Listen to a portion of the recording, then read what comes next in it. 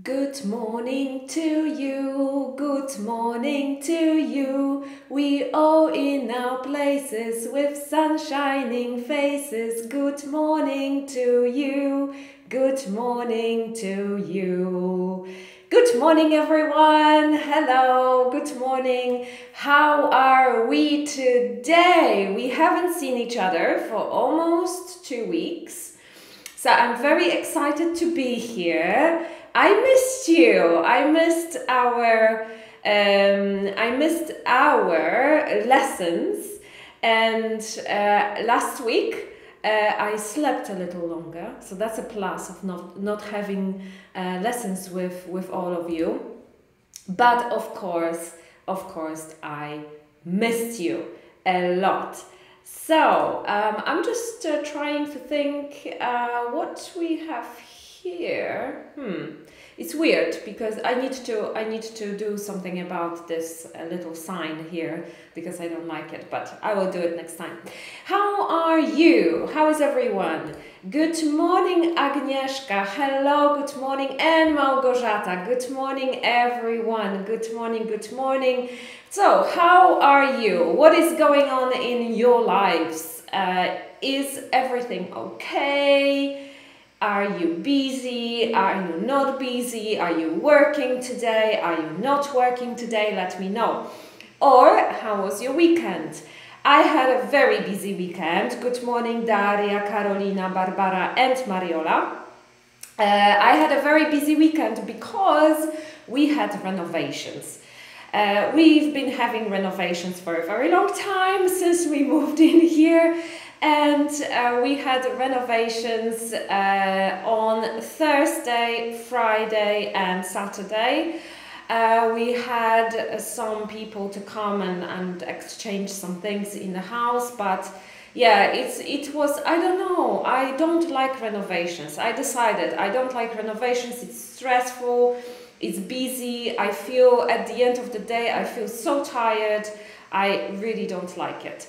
So uh, I, uh, unfortunately, we haven't finished yet. So we have to finish uh, next this week uh, or next week. And yeah, it's expensive and it's busy. Yeah, you know how it is. You guys probably know.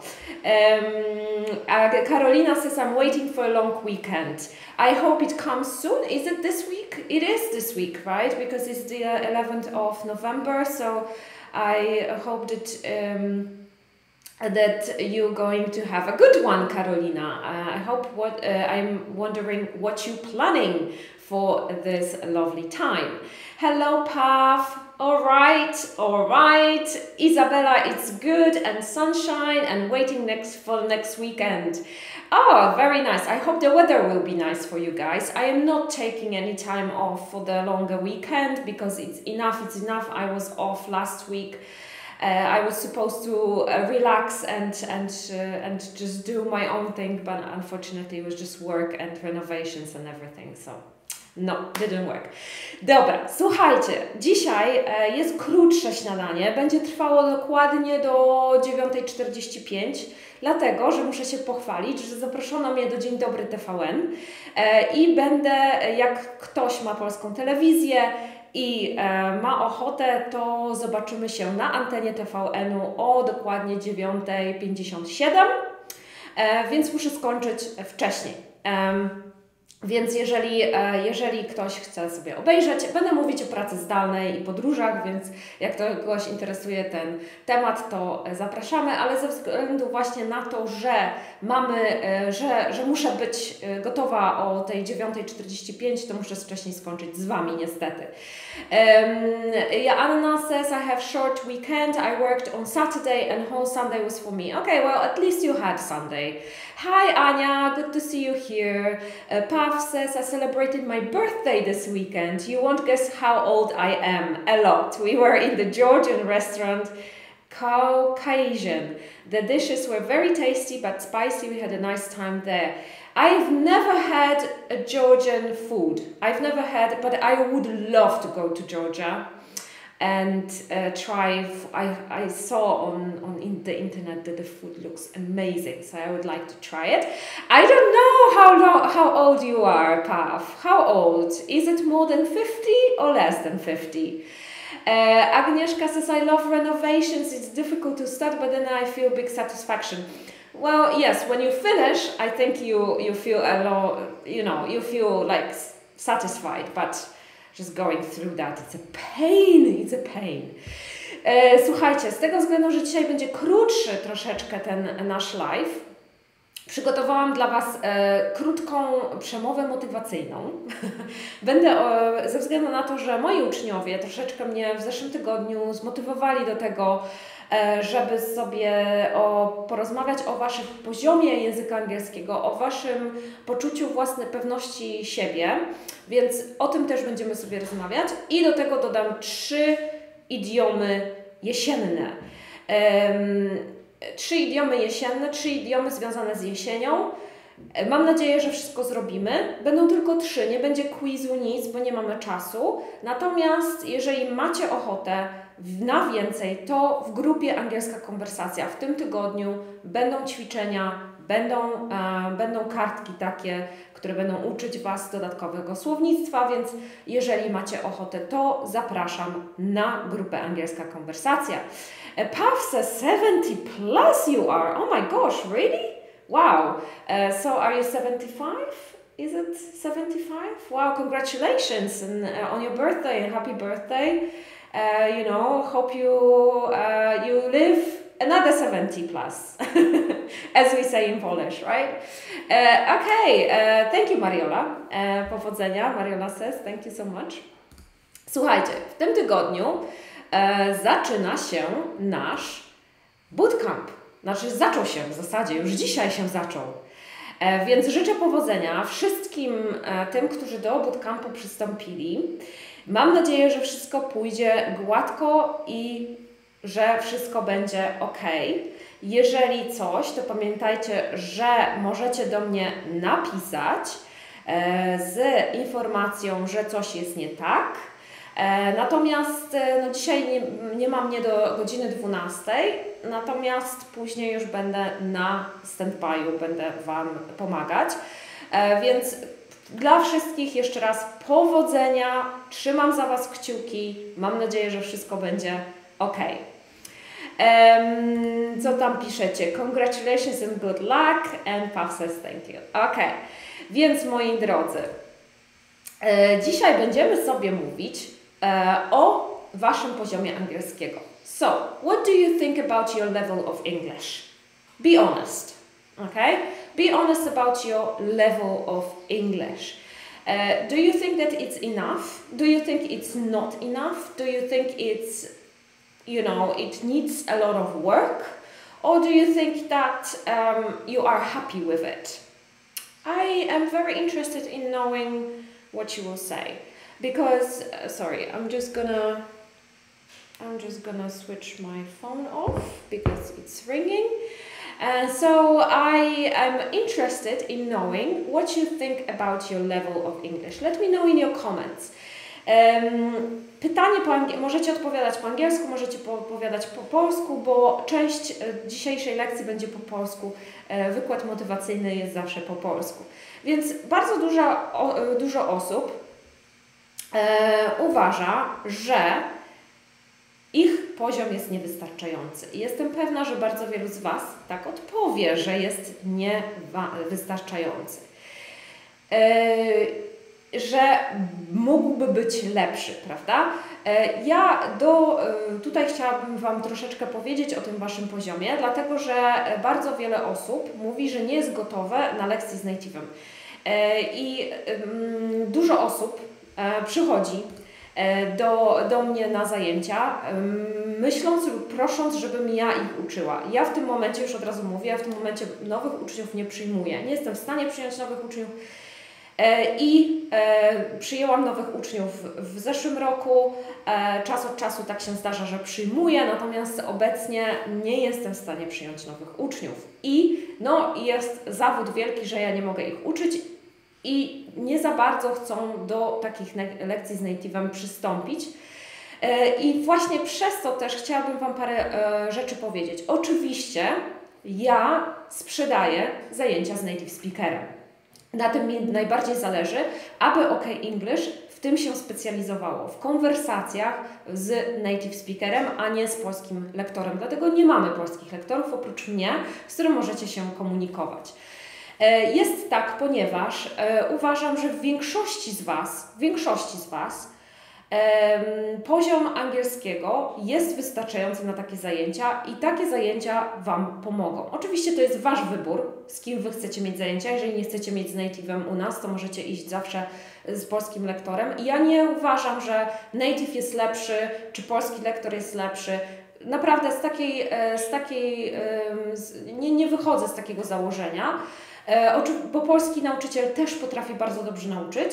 E, I też są naprawdę na, obecnie na, na rynku są bardzo dobrzy polscy nauczyciele. Ja po prostu uważam, że ucznia trzeba wziąć i wrzucić na głęboką wodę i bardzo wielu z Was już się do takich zajęć nadaje i takie zajęcia może mieć i te zajęcia Wam naprawdę bardzo, bardzo dużo dadzą, szczególnie jeżeli macie problem z barierą językową, tak? Jeżeli macie, jeżeli się wstydzicie, krępujecie, to takie zajęcia naprawdę, jeżeli jak się wrzucicie na głęboką wodę, wyjdziecie ze strefy komfortu, to naprawdę zobaczycie, że potraficie, że jesteście na wyższym poziomie niż e, myśleliście wcześniej i dajecie sobie świetnie radę. Um, Agnieszka mówi, it could be better. Ania says, I need lo lots of work definitely. Uh, Paula, not enough, I have lots to do. E, witamy Izabelę, która jest tutaj po raz pierwszy. E, po raz pierwszy. E, mam nadzieję, że dużo wyniesiesz. E, Izabela, druga Izabela mówi, I think it's not too much, but I'm trying, but I, I'm trying, I'm still trying. E, I widzicie, ile tutaj osób, parę osób odpowiedziało, że ich angielski jest niewystarczający, tak? Że mogłoby być lepiej. Zawsze mogłoby być lepiej, prawda? Zawsze mogło być lepiej, ale porozmawiajmy sobie o Waszej wierze, wierze w siebie. I do tego, co tutaj powiem, Małgorzata says never ending story. E, druga Małgoś mówi my level is not enough, I'm working on improving uh, skills. Um, i, I bardzo wiele z Was, ja też mogę powiedzieć, że mój angielski jest niewystarczający tak naprawdę. Zawsze się coś znajdzie takiego, z czym ja, z czym wszyscy mamy problem, prawda? Więc ja też mam problem z pewnymi rzeczami i też zawsze mogło być lepiej. E, no, ale pracujemy wszyscy nad tym, żeby było lepiej, prawda? E, I do, e, ostatnio miałam właśnie e, konsultację za nią i też pomyślałam sobie o uczniach, którzy dołączyli do nas ostatnio. Nie tylko na bootcamp, ale też na zajęcia różne inne. I te konsultacje, które z Wami prowadzę, są taką też takim wyznacznikiem, co się tak naprawdę dzieje w Waszych głowach trochę, jeżeli chodzi o Wasz poziom, o Waszą znajomość języka angielskiego. Bardzo często, właśnie tak jak mówiłam, bardzo często przychodzicie, mówicie, że nie jest wystarczający, że nie jesteście pewni siebie, że e, wstydzicie się dlatego, że macie braki tu, tu, tu i tu. Ja, jak przyjmuję Was na zajęcia, to ja nie przyjmuję wszystkich. W piątek zdarzyło mi się tak, że nie przyjęłam uczennicy, dlatego że ich, jej angielski nie był na wystarczającym poziomie. E, I co nie, co nie jest zupełnie żadnym wstydem, żadnym w ogóle, wiecie, bra, nie wiem, czymś, co świadczy, że jest gorszą osobą od innych i tak dalej, ale dlatego robię konsultacje, żeby sprawdzić, jaki macie poziom. Najpierw wysyłam Wam ankietę do wypełnienia. W tej ankiecie jest test sprawdzający poziom i przychodzicie na zajęcia. I w ankiecie co się pojawia? W ankiecie się pojawia nie jestem, e, mój angielski jest w ogóle do bani, e, jestem na bardzo niskim poziomie podstawowym, komunikatywnym. Bardzo często mówicie komunikatywny poziom, zupełnie nie wiedząc, co to znaczy. Tak? Nie, nie wiecie, co, dla Was komunikatywny poziom to jest bardzo niski poziom. Bardzo często tak jest, tak? Że jest to komunikatywny, tak, dogaduje się, ale uważam, że jest to poziom podstawowy i nie radzę sobie w rozmowie. Tak? Więc Wam się tak wydaje że, że Wy jesteście po prostu na takim poziomie. Później przychodzi do konsultacji. Na konsultacji, oprócz tego, że sobie rozmawiamy po polsku na pewne tematy, to rozmawiamy sobie też po angielsku. Ja też sprawdzam Wasz poziom. I mi wystarczy dwie minuty konwersacji z uczniem, żeby stwierdzić, na jakim jest poziomie. E, już wiem, od, kiedy uczeń odpowiada na pytanie, skąd jesteś, jak, gdzie pracujesz, czy lubisz swoją pracę, co robisz w, w czasie wolnym, to ja już wiem, na jakim wy jesteście poziomie. Ja już tych konsultacji zrobiłam naprawdę setki. Nie, nie tysiące, ale setki, bo wiem. E, więc bardzo, bardzo dużo ich zrobiłam i ja wiem dokładnie, jak to wygląda. I bardzo często, częściej niż rzadziej, okazuje się, że uczeń radzi sobie w rozmowie całkiem nieźle. Nie oznacza to oczywiście zawsze, że jest to poziom C1, tak, że jest to poziom zaawansowany, czy jakiś native, czy w ogóle i, i, i naprawdę wymiata. Rzadko się zdarza, to prawda, ale bardzo często uczniowie dają sobie radę zupełnie swobodnie. Naprawdę po prostu potrafią odpowiedzieć na pytanie. Czasami im się tam coś pomyli, czasami zapomni E, czasami zapomni D, czasami zmieni czas, czasami nie zmieni czasownika, wiecie. No to takie po prostu małe błędy, które oczywiście jest bardzo prosto naprawić, tak? Przez naukę, przez konwersację, przez powtarzanie, przez poprawianie ucznia. Więc to są rzeczy, które naprawdę nie są aż takim wielkim problemem, bo z, jeżeli się dogadasz, jeżeli rozumiesz pytanie i potrafisz na nie odpowiedzieć, w miarę dobrze i ja rozumiem Twoją wypowiedź, to Ty już się dogadujesz, tak? To bardzo często wcale nie jest poziom początkujący, ale już taki średnio, bo jeszcze w, po angielsku mówi się, że są upper intermediate i lower intermediate, czyli taki niższy, średnio zaawansowany i bardzo często takie, takie poziomy do nas przychodzą, czyli poziom na przykład B1, tak? Albo taki poziom A2, B1. Czasami ludzie sobie radzą lepiej w testach e, niż w rozmowie lub odwrotnie czasami tak samo, tak? Na teście wychodzi e, na przykład tam poziom początkujący, ale w rozmowie okazuje się, że wcale nie jest źle. I bardzo często jest to poziom właśnie A2 lub B1. E, I z czego to się bierze? Tak? Bo ja mam, i, i teraz jeszcze dodatkowo, ja często mówię uczniowi, słuchaj, radzisz sobie naprawdę dobrze, tak? Radzisz sobie, masz dobre słownictwo, gramatyka jest, jest dobra, tak? Trzeba naprawić to, to, to i to, ale radzisz sobie w rozmowie. Już jesteś gotowy, gotowa na zajęcia na przykład z native'em. I oczywiście zdarza się tak, że uczeń mi nie wierzy. Ja już widzę na twarzy, że uczeń mi nie wierzy, tak? Albo, że coś tam powie, że mm, no, do, no nie wiem, nie wiem, nie? Może mnie tutaj naciągasz. Ja nie naciągam ludzi, bo ja nie chcę wziąć ucznia, który jest na słabym poziomie, bo tak już się zdarzało u nas, przyznam szczerze, że zdarzały się takie przypadki, że uczeń był na bardzo niskim poziomie, na poziomie początkującym, poszedł do native'a i co się stało? Uczeń się bardzo zniechęcił bardzo zniechęcił, dlatego że sobie nie radził po prostu na takich zajęciach. I Native powie Ci, e, bo ja już z naszymi e, nauczycielami rozmawiałam, e, Native powie Wam, że każdy poziom jest dobry, że nawet jak zaczynasz od zera, to może być z Native'em. To nie jest do końca prawda, moim zdaniem. Tak? Moim zdaniem, jak jesteś na poziomie zerowym, czy bardzo początkującym, gdzie naprawdę nie potrafisz wiele powiedzieć, to nie powinieneś mieć zajęć z Native'em. Powinieneś iść do polskiego lektora, który Ci wytłumaczy po polsku od od jednego końca do drugiego końca, jak e, posługiwać się gramatyką, szczególnie jeżeli chodzi o gramatykę, bo na samym początku słownictwo jest proste, można na, na, na obrazkach pokazać, tak? Natomiast gramatyka musi być wytłumaczona w języku polskim, więc uważam, że takich uczniów najlepiej będzie, jeżeli zaczną się uczyć e, od e, polskiego lektora. Mówię tutaj o osobach dorosłych, bo na przykład u dzieci, dzieci sobie lepiej radzą w takich sytuacjach z native'em, zajęcia inaczej wyglądają, ale mówię tutaj o osobach dorosłych. I y, przy takich sytuacjach, kiedy mieliśmy uczniów na bardzo niskich poziomach, e, to raz, że uczeń się zrażał do angielskiego i mówił, pewnie sobie, znaczy tak sobie wyobrażam, że pewnie sobie mówił, że jest do niczego, bo tak czasami się zdarza. No i nauczyciel się męczył, tak? Nauczyciel, u nauczycieli też, szczególnie online, takie zajęcia z bardzo początkującą osobą są bardzo ciężkie. E, takie zajęcia z początkującymi osobami powinny moim zdaniem się odbywać stacjonarnie. Naprawdę, chyba że nauczyciel ma bardzo dużo materiałów przygotowanych pod taki poziom. Wtedy jest ok, wtedy jest dobrze. Natomiast Natomiast jeżeli nie, a, a podejrzewam, że większość nastawia się na takie poziomy komunikatywne, to wtedy jest dosyć ciężko zorganizować takie spotkania. No i dla nauczycieli to też była, było wyzwanie. Więc generalnie taka współpraca się po prostu nie sprawdza.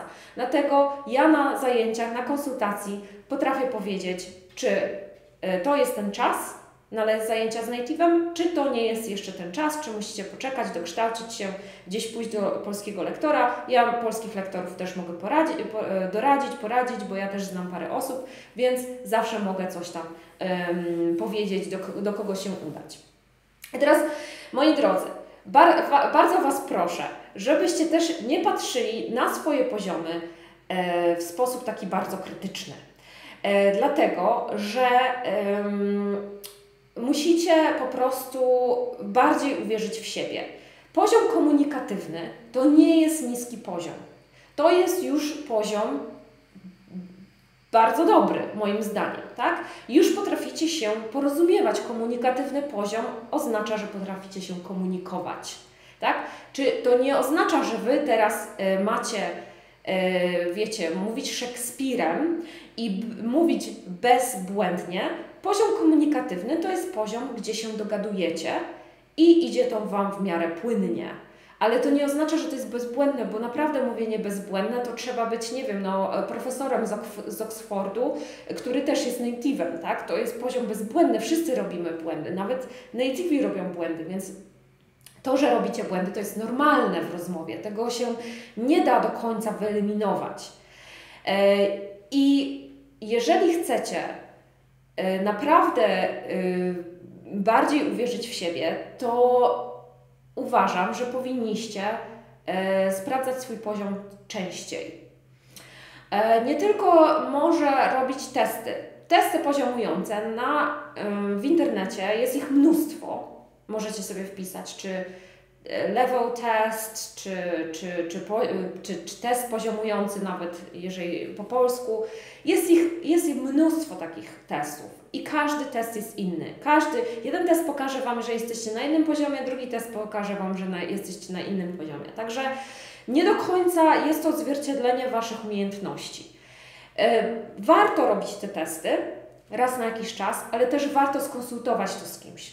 Warto udać się do kogoś, kto Wam ten poziom może sprawdzić. Czy to jest Wasz nauczyciel? I nauczyciele też mogą posługiwać się materiałami z internetu, gdzie mają wykaz pytań, na które na każdym poziomie one są dzielone na sekcje i każdy poziom e, powinien jakby bez problemu odpowiedzieć na, na te pytania. Więc nauczyciel też może Wam sprawdzić, jaki macie poziom. To naprawdę nie jest problem. I tutaj y, ktoś powinien Wam powiedzieć, słuchaj, jesteś na takim poziomie, albo na przykład, że jeszcze dodatkowo jakby miał porównanie z tym, jak, jak radziliście sobie wcześniej, to by było super.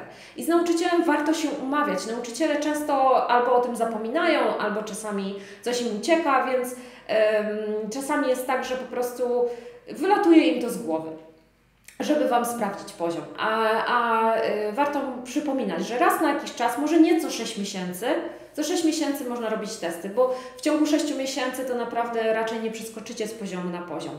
Ale może, y, może ewentualnie da Wam to do, do jakby może wyciągniecie z tego jakieś wnioski, gdzie e, faktycznie zauważycie, co jeszcze Wam jest potrzebne. Co 6 miesięcy można raz w roku takie naprawdę porządne sprawdzanie e, Waszego poziomu e, na pewno by się przydało.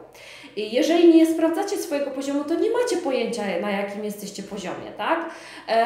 Możecie spotykać się z, z native'ami, z nauczycielem, E, ale bardzo rzadko w takich sytuacjach, jeżeli uczycie się cały czas, bez większych przerw, to bardzo rzadko jest, możecie zauważyć tą małą przemianę, która się dokonuje w ciągu Waszej nauki.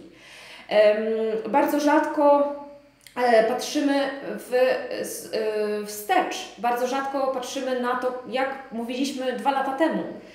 E, więc e, warto, naprawdę warto sprawdzać ten poziom e, tak porządnie, żeby wiedzieć, jakie postępy zrobiliśmy od jakiegoś tam czasu, od kiedy się zaczęliśmy uczyć.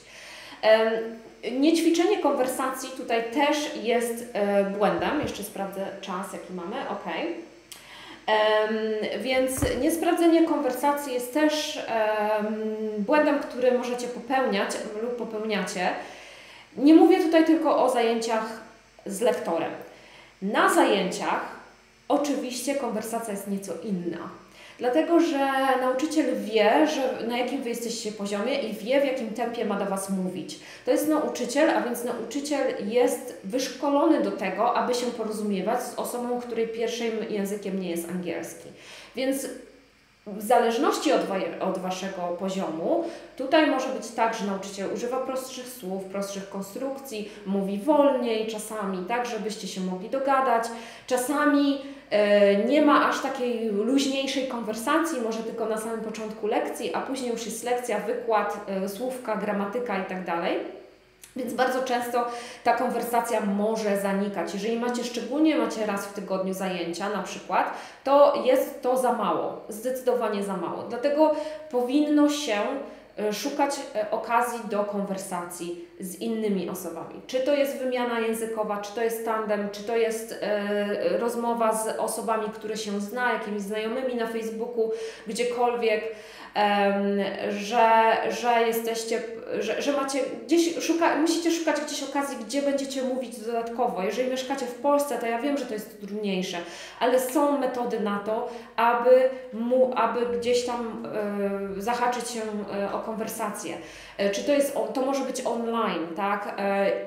iTalki, czyli takie italki się pisze, iTalki ma um, możliwość szukania e, wymiany językowej. Wymiana językowa może być dla Was troszeczkę, e, zrobimy sobie może jakieś tam e, porady na temat, jak zorganizować sobie wymianę językową. Jeżeli nigdy tego nie robiliście, to może być to też trochę małe wyzwanie, ale to też warto sobie e, może pomyśleć nad tym. Czy to jest tandem, czy jeżeli macie znajomych na Facebooku, to, na, to warto może nagrywać, nawet jeżeli nie lubicie rozmawiać przez telefon, bo ja na przykład nie lubię, to można się nagrywać na Messengerze i wysyłać im e, jakieś wypowiedzi. Cześć, co u Ciebie? A dzisiaj była taka pogoda, a dzisiaj robiłem to, a dzisiaj robiłam tamto. Więc warto ćwiczyć konwersację. Naprawdę. Y, kolejną rzeczą, którą prawdopodobnie nie robicie, to nie patrzycie wstecz. Porównujecie się do innych, patrzycie na boki, jak tam Zosia, Marysia i tak dalej robią.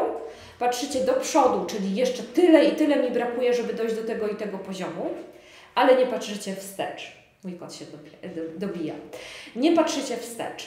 Nie patrzycie za siebie, nie patrzycie, nie porównujecie się do siebie z przeszłości, co jest błędem. Powinniście, e, wiecie, e, rzeczą taką, którą możecie poprosić nauczyciela, jeżeli macie zajęcia online, to możecie poprosić nauczyciela o nagrywanie zajęć. Nagrywajcie się na przykład e, raz na 6 miesięcy albo raz do roku. E, raz w roku nagranie, zachowajcie sobie to nagranie i w następnym roku wyznaczcie sobie datę, że się będziecie nagrywać na kolejnej lekcji za rok i porównajcie sobie te zajęcia. To jest naprawdę bardzo dobre. Możecie sobie też, możecie oczywiście też pytać nauczyciela, jak sobie radzicie, czy zrobiliście postęp, um, więc warto patrzeć wstecz. Jak mówiliście dwa lata temu? Jak się czuliście dwa lata temu? Co było dla Was przeszkodą, a co, czy, czy coś się zmieniło? Czy na przykład widzicie jakiś postęp w jakiejś rzeczy? Możecie zrobić sobie notatki, tak? Na przykład w, gdzieś, nie wiem, w jakimś notesie możecie napisać sobie raz do roku, czy raz na sześć miesięcy. Wyzwaniem dla mnie była konwersacja o polityce na przykład, tak? Albo wyzwaniem o COVID-zie rozmawialiśmy, więc było to dla mnie wyzwanie. Na następny raz za 6 miesięcy patrzycie, ok, teraz mogę sobie swobodnie porozmawiać o polityce.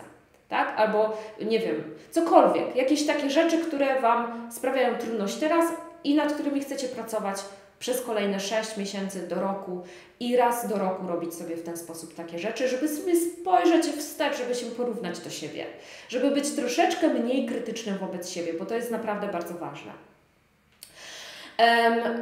Szukajcie nauczycieli, którzy pokazują Wam, że możecie. E, nauczyciel, y, y, Polacy bardzo lubią, jak się ich poprawia.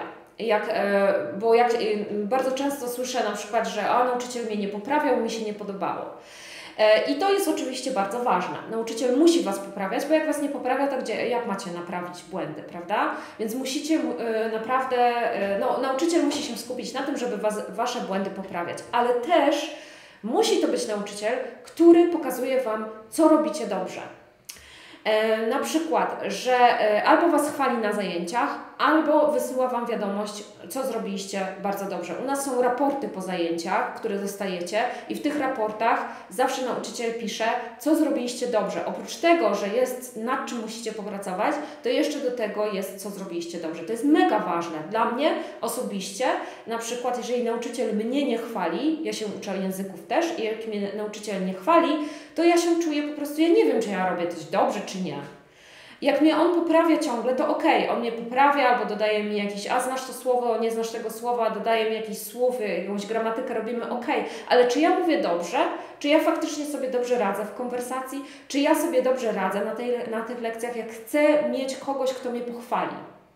Więc naprawdę to jest ważne. Więc szukajcie nauczyciela, który oprócz tego, że będzie Was poprawiał, to jeszcze będzie Wam mówił, co robicie dobrze i yy, z którym będziecie się czuli dobrze też, tak? Z którym będziecie się czuli komfortowo i z którym yy, będziecie mogli mu zadać pytanie raz na jakiś czas, jak sobie radzę, co myślisz o moim angielskim, czy dobrze sobie radzę, czy zrobiłem postępy, tak? Jeżeli on Was nie chwali, to musicie, czy on, ona Was nie chwali, to wiecie, trzeba ich cisnąć po prostu, bo nauczyciel czasami zapomina po prostu. Tak? Nauczyciele mają dużo rzeczy na głowie, więc czasami zapominają. Trzeba ich cisnąć, tak? Jak sobie radzę? Nie? Bootcamperzy, jeżeli jesteście tutaj, warto zapytać się, po trzech tygodniach, na koniec kursu, jak sobie poradziłam, jeżeli nauczyciel Wam nie dał feedbacku, bo czasami może być tak, że zapomni, ja na to zwracam uwagę, ale może być tak, że zapomni, to znęcać się nad nim, powiedzieć, ej, słuchaj, jak ja sobie radzę, czy co jeszcze, nad czym muszę pracować, co jeszcze, czego jeszcze mi brakuje, tak? Trzeba się dokładnie zapytać. E, warto też pracować nad pewnością siebie, czyli wiecie, nie tylko nad angielskim, ale też nad pewnością siebie, nad, nad tym, jak do siebie, do własnej osoby podchodzimy. Okay? E, czasami nasza niepewność siebie w rozmowie może nie wynikać ze słabego angielskiego, może wynikać po prostu z naszej osobowości. I oczywiście ja nie mówię, że teraz każdy ma po prostu brylować wszędzie, ale warto się zastanowić nad tym, jaką jestem osobą. Być może jesteście introwertykami, być może jesteście po prostu nieśmiali i wasza nieśmiałość w rozmowie miesza się z waszą nieśmiałością, jak jesteście gdzieś z nową osobą e, z kimś e, zupełnie Wam nieznanym. Może po prostu z tego wynika Wasza nieśmiałość w rozmowie, a nie z tego, że macie słaby angielski. Też trzeba się nad tym zastanowić. I czy jest coś, co możecie zrobić w tym w tej kwestii. Ja nie jestem psychologiem, więc nie, nie mogę Wam za bardzo doradzić. Sama jestem introwertyczką i często się czuję źle w większym towarzystwie. Jak jest większa grupa, to często jest mi niekomfortowo i e, chcę po prostu uciec. Um, więc, więc wiem, jak to jest. I też próbuję nad tym pracować, ale taka jest moja natura. Może warto po prostu to zaakceptować z jednej strony. E, ale jeżeli się czujemy na przykład źle w grupie, tak, to może jak byliśmy do tej pory tylko na zajęciach grupowych, to może właśnie w tym jest problem, że jesteśmy po prostu, źle się czujemy w grupie, więc źle się czujemy na lekcjach grupowych, nic z nich nie wynosimy, wstydzimy się, krępujemy się i nagle przychodzi taka myśl, że może faktycznie jesteśmy do bani z tym angielskim, a to czasami nie jest prawda, po prostu zajęcia grupowe nam nie pasują. Czyli słuchajcie, badamy regularnie poziom mówimy. Konwersacja jest bardzo ważna, czyli dużo mówimy, mówimy na zajęciach, um, znajdujemy nauczyciela, który będzie nas chwalił, oprócz tego, że będzie poprawiał. Mówimy dużo z tym nauczycielem i znajdujemy sobie okazję do rozmowy po angielsku w innych środowiskach, tak? Czyli gdzieś tam jeszcze poza, czyli czy to będzie wymiana językowa, czy tandem, czy znajomi na, w internecie, czy jak ktoś mieszka w Warszawie, w Krakowie, w Wrocławiu, w takich różnych miastach, to jest bardzo dużo grup na Facebooku dla osób z zagranicy, którzy mieszkają w tych miastach, na przykład Expats in Kraków albo Expat in Wrocław. I można sobie znaleźć znajomych, meetup, pójść na meetup,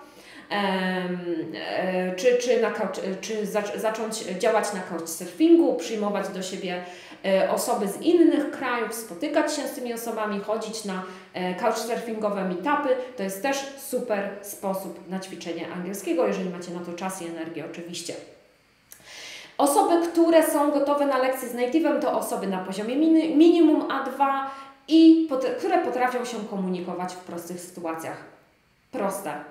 Jeżeli myślicie nad tym, jeżeli chcecie, to ja Wam sprawę, sprawdzę poziom i Wam powiem, czy to jest ten czas. E, i, I mogę Wam powiedzieć, czy dacie sobie radę, bo już osoby na poziomie początkującym minimum A2 nie niższe, ale takie na poziomie A2 spokojnie sobie dadzą radę. Ania mówi, ja jestem mile zaskoczona, podbudowana po konsultacji, byłam pewna, że mój poziom jest o wiele niższy, cieszę się, że zdecydowałam się na lekcję z native'em. E, I to właśnie Ania mnie zainspirowała do tego, żeby Wam o tym powiedzieć, bo właśnie taka sytuacja wyniknęła z Anią, która myślała, że jest na o wiele niższym poziomie, a się okazuje, że Ania śmiga po angielsku całkiem nieźle. Więc e, jeżeli jesteście, macie takie przekonania, to warto właśnie e, sprawdzić sobie poziom i zobaczyć, jak sobie dajecie radę. Ok, mamy 10 minut, słuchajcie. So, we have 10 minutes. Jeżeli macie jeszcze jakieś e, pytania, jakieś rzeczy, które chcielibyście sobie dodać, to piszcie w komentarzach. A my sobie spojrzymy na nasze jesienne. O, nie patrzcie na mój, na mój pulpit, bo tam jest po prostu E, muszę oporządkować to wszystko. E, dobra. Mm, so, three idioms with autumn. Three idioms with autumn today. So, we are going to have a very autumny feeling today. So, the first one is to turn over a new leaf. To turn over a new leaf means to turn over a new page which means to start something from the beginning. Very often, this idiom is used when we talk about starting something new in life. So, I got divorced and left my husband. I turned over a new leaf in a different country. Okay, so it doesn't mean that, for example, I don't know, when you're cooking, right? when you're cooking and uh, you um, you made a mistake and you have to do everything again. you cannot use that idiom in this case. You can only use it when you start something new in life. So when you, uh, when you, uh, I don't know, uh, when you start a new job, uh, when you start uh, when you start a new job when you start um, i don't know um, when you got divorced and you uh, you're starting a new life when you uh, move to a new house to a new country to a new city right? All these things can be used with that idiom. So turn over a new leaf means to turn over a new page and means to start something from the beginning. All right, so let's have a look at another one. Another one is to turn into a pumpkin. Okay, so here on the right we have a pumpkin, beautiful pumpkins. I love pumpkin. I, um, I love uh, the taste of it, it's so nice. So we use it when it's time to do something, especially when it's late or around midnight. Okay, and this idiom comes from Cinderella. Okay, so you probably know Cinderella. So Cinderella is in Polish Kopciuszek. So this idiom comes from that um, from that tale, and it means to to turn to change into a pumpkin.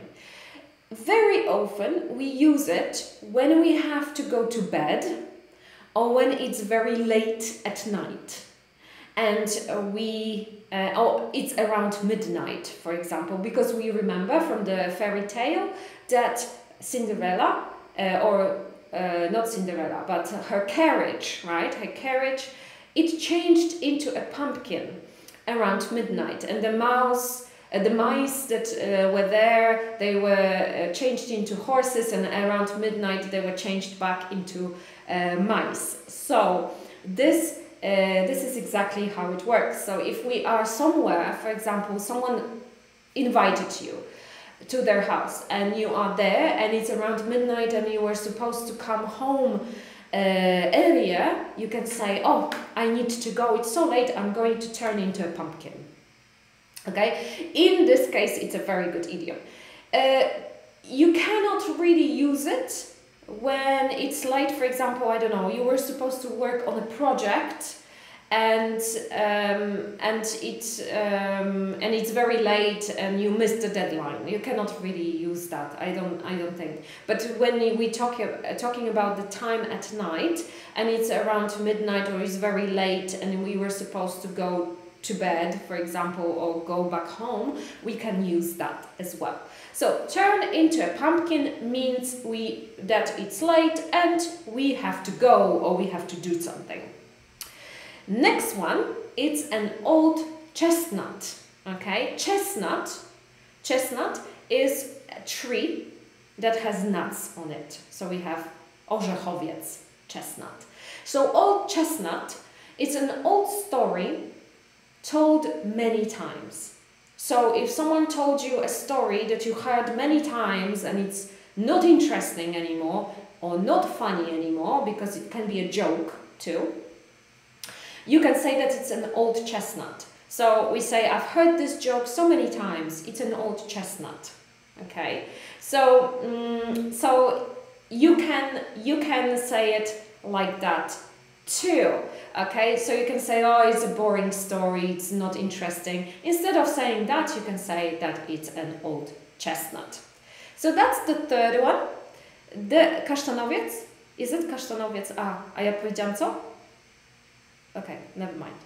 Uh, okay, uh, turn over a new leaf is to turn over a new page to start something new, some, start something beginning. Turn into a pumpkin we use when it's time to do something, when it's late at night or around midnight and we have to go or we can have to go home. Um, actually, one more thing, turn into a pumpkin can be used also during COVID okay, because we have lockdown. During lockdowns, when it's very late and uh, we had to be at home, well now in Poland you don't have lockdowns and you are free to move around at night, but if in the future, God forbid, but maybe, there is a lockdown and you have to be home by 8, you can also say, even if it's not around midnight, but you can also say, oh, it's so late, there's a curfew and I need to be home I need to go because I'm going to turn into a pumpkin. And an old chestnut, so it's an old story told many times. So if you heard something many times, it's not funny, it's not interesting, you can say that it's an old chestnut. Okay, so one more thing. Do you like autumn? Why or why not?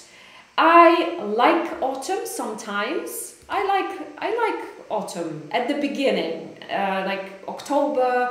Here, October is still summer in Portugal, but uh, November it's nice. It's 20 degrees at the moment, so it's nice. In Poland, I also like October, September. It's nice, but then you know, after like near December when it's still autumn, it's not nice. I don't like it. Ugh, it's too too much rain and and it's just too cold. I don't like it. Ewa Ses, szukam dla syna Native'a, ma poziom C1, byłabym wdzięczna za polecenie. E, zapraszamy do nas, Ewo, e, serdecznie. Agnieszka też poleca, widzę. E, więc jeżeli chcesz z Native'em zajęcia, to zapraszamy do nas. Możesz wysłać mi wiadomość, umówię się z Twoim synem na konsultację. nie ma problemu. Marcelina, I don't like autumn because I hate cold. I hate cold too. It's not nice at all, at all. I think it's, um, I don't like rain. cold is okay, you know, like um, if you put a warm jacket on and you have warm jumper and nice socks, it can be nice sometimes, right? But I think uh, when it rains and it's gray and you cannot go out, um, I always feel very sleepy during that time. When it, there is no sun and the light is very heavy, um, in, in Poland very often it is like this. I, I really don't like it, it makes me feel very unwell, I feel very sleepy, I just don't want, don't want to do anything. So I, I do not like that. Uh, I prefer to uh, to to be you know uh, to be warmer a bit. Like for example, snow. I like snow. Uh, I like snow. I, I think it's nice when it, the there's sunshine and you can you can enjoy yourself a little bit. Uh, then it's nice when you go to the mountains, for example. But when it's just mud and, and grey and ah no. Um, I hate wind, Isabella says. Yeah, uh, when it's windy, right? I come from Weba, so in Weba we have a lot of wind uh, very often, and it's not nice and it's very dangerous too. Uh, when I was smaller, when I was younger, we had lots of windstorms, and it was so dangerous that they closed the school. Uh, they, we had to stay at home for one day until it stopped, and uh, it was very dangerous to go out. Uh, we had those days. Nowadays it's a little bit better. I think it's not as strong, but we still have wind. Okay, I have to go. Muszę lecieć, moi drodzy. Jeszcze jedna prośba oczywiście o lajki, o buźki, jeżeli Wam się podobało dzisiejszy wykład, jeżeli macie ochotę na więcej, oczywiście widzimy się w poniedziałek o 9, a ja jeżeli jesteście w domu, to zapraszam na TV, Dzień Dobry TVN, 9.57 dokładnie będę na wizji, także do zobaczenia. Thank you so much for coming. It was lovely, lovely, lovely to have you here. I hope to see you next week. Thank you so much. Bye bye.